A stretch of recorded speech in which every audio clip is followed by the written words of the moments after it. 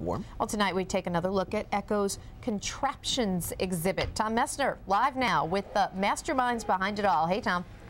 Hey, you guys. I hope you had a chance to check us out at 5 o'clock. We did take a look at some of the contraptions in the room here. And I think a lot of times when people think of contraptions, they think of gears and things moving and stuff like that. But Janet Van Fleet is with me. She's from Cabot. She is an artist right here in Vermont.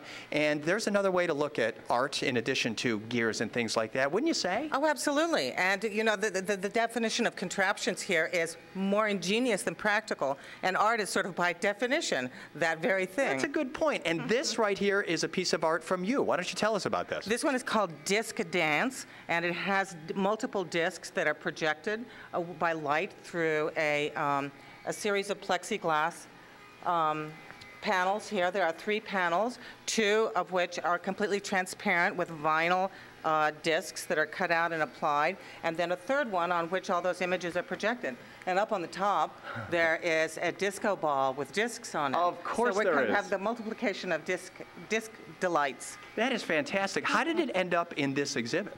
Well, the, um, the museum was looking um, to do a series of, uh, uh, or an exhibit that had to do with using art for, um, for investigating change and transformation and how that intersects with science. So uh, they were looking for somebody to do a, a central place that's kind of like a cathedral of light. That wasn't their idea, it was my idea, but they wanted something central. It's and so very this was it. Thank well, you. thank you so much, and You're it's so, so nice to meet you. I appreciate Nice that. to meet you. We have yet another artist here, Dave Blumenthal is here from Montpelier, who has a couple of pieces of art in here as well. Hey, Dave, how are you? Hi there, I'm doing great, thanks. Could you tell me a little bit about this? This is. I'll get out of the this way is Topoform. It's a fantastical sculptural piece that explores topography, mountains, valleys, ridges, and it's really fun for everyone to check out. It really is. It's very smooth, isn't it?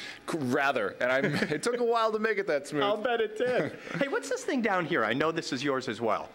This thing is really kind of interesting.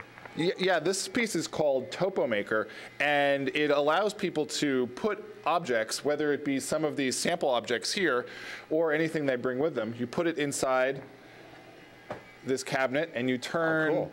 close the door, and lasers draw onto the object the contour lines which describe what that object is like. Yeah, it's kind of You know, like I a can- topographical map kind That's of thing. right. I can put my, my hand in here and see what my hand looks like. Yeah. And it's it's really really a lot of fun, and it's really great for exploring what topography Hot and contour stuff. lines are all about. Oh, that is really cool. You guys, it's great to have your pieces here at Echo, and the exhibit is fantastic. Thank you so much. Really appreciate it. Thanks a lot. Nice to meet you, Dave. Janet, thank you very much. We do appreciate that.